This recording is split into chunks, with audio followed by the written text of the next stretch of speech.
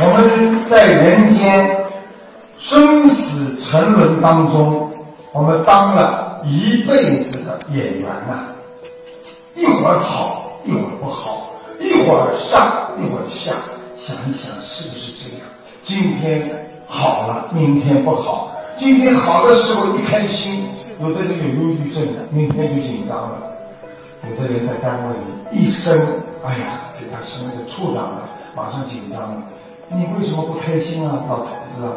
你现在升处长了，恭喜呀、哎，老太太，你真的不懂啊！我这一升处长啊，有五个人要记住我，我说不定对他们过两天又讲下来了。想想看，一个人开心也开心不出来，因为像演员在舞台上一样，一会儿这样，一会儿那样。那么等到有一天，我们才真正的知道，我们才真正的相信，人生啊是空的，什么都得不到，却累苦了自己一辈子啊。我们最大的就是累呀、大家想一想，做义工一点不累，跟台长握手，捶胸极恶。你看，刚刚台长上上来的时候，把我小指又弄了个止血泡，留个纪念，我要把它带回澳洲去。要好好的爱护台长，握手呢，轻轻的握，握一下呢就放掉，拿住不放。你知道师傅心里怎么想的？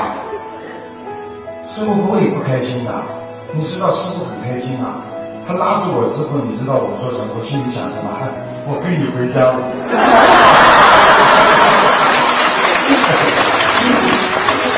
你想想看，同样一个事情，你这样看是这样好，那样看是那样好，哪有自己想不通的事情？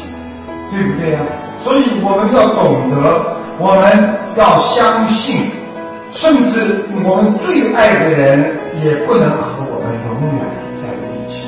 那么，所以这就印证了佛说的一句话：一切有为法，如梦幻泡影啊。有为法，就是说在人间，菩萨称为法界。那么在人间所有的一切，那么成为法物啊，就是我们的人啊。你们想想看，为什么很多生意场上他们叫法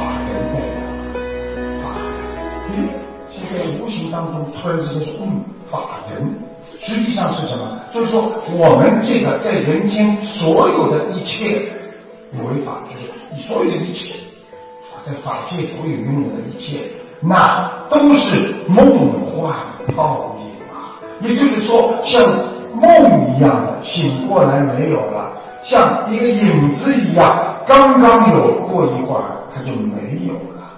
想一想，就跟我们做人一样，我们今天开心了，明天不开心了，后天又开心了，大后天又不开心，哪有完呐、哪有为？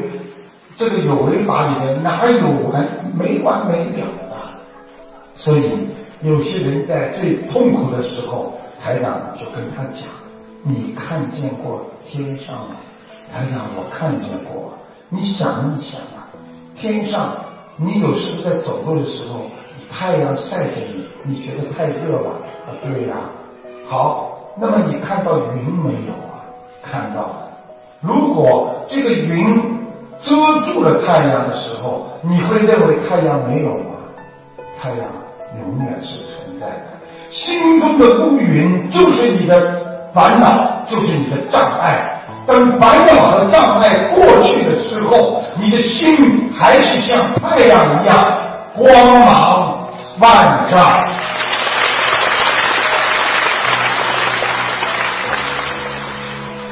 我们不应该注色身心，不应该注声香味触法身心，因无所住而生其心。